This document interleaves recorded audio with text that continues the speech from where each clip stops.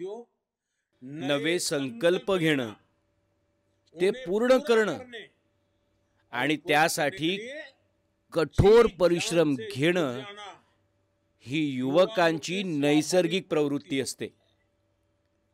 भाजपा युवा वर्गाच्या आकांक्षा आणि स्वप्न समजतो.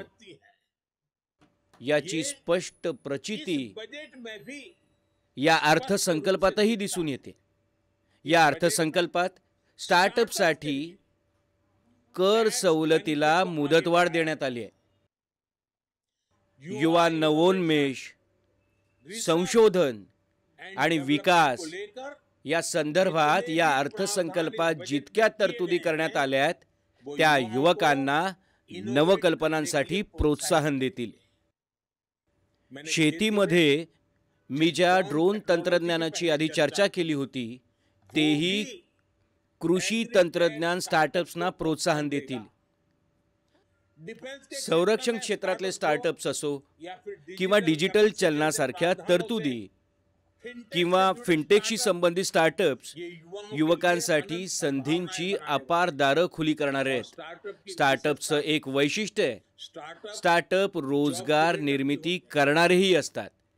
मित्रांनो युवकांना शिक्षण आणि कौशल्याच्या उत्तम संधी देण्यासाठी गेल्या काही वर्षात तंत्रज्ञानाच्या कक्षा सातत्यानं व्यापक करण्यात आल्या आहेत या अर्थसंकल्पात याचा विस्तार करत पहली पहिलं. डिजिटल विद्यापीठ उभारण्याचा निर्णय घेण्यात आलाय.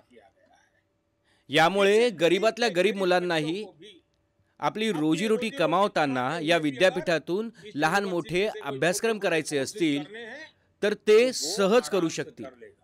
आणि त्याला दर्जेदार शिक्षण उपलब्ध होईल.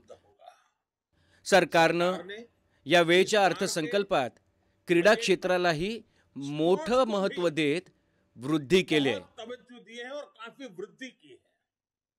है लक्षात असू द्या. की क्रीडा क्षेत्रात सर्वाधिक आपल्या शेतकऱ्यांची मुलंच येतात. शेतकऱ्यांच्या कुटुंबांची ते आन बान शान ठरत आहेत बन रहे हैं। खेलो इंडिया अभियानाची तरतूद देखील वाढवण्यात आली आहे.